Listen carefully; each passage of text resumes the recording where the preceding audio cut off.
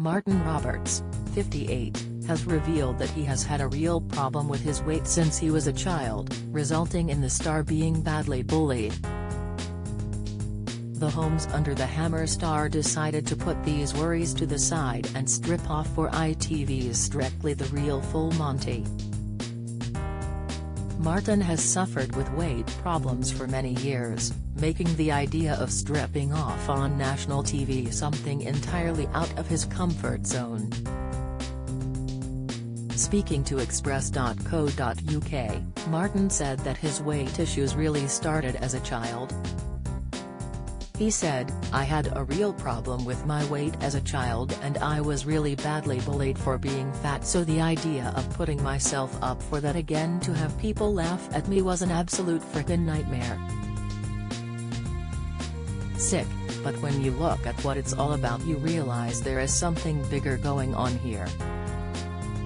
Martin decided to take part in the Full Monty to raise awareness for life-saving cancer checks for his best friend Dave.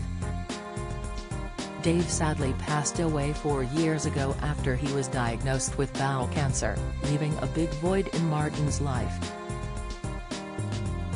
He said, Four years ago I lost my best mate to cancer.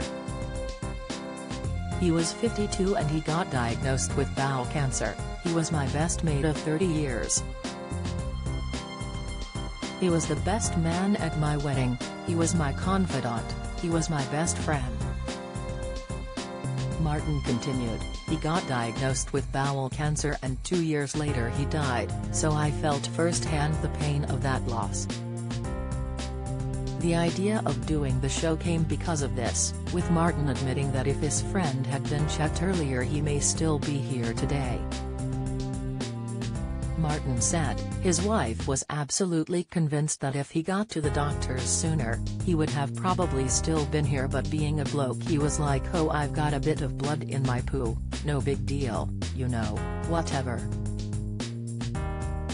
That unfortunately is the way that most blokes are, when it comes to especially private places, people are like do I really need to go somewhere, do I want a finger up my bum. Martin admitted his reason for doing the show is purely to get the message across and pay respect for his best friend. The Homes Under the Hammer star is nervous for his ex-co-star Lucy Alexander to watch tonight's show. He said, she was my screen wife and as you know we never consummated our relationship and funny enough she is one of the people I really don't want her to watch only because I worked so closely with her, it's like having your mum and dad watch? No. I'm just hoping that at the crucial moment they come up with some television jiggery pokery and you are protected from the worst and I'm protected from the embarrassment.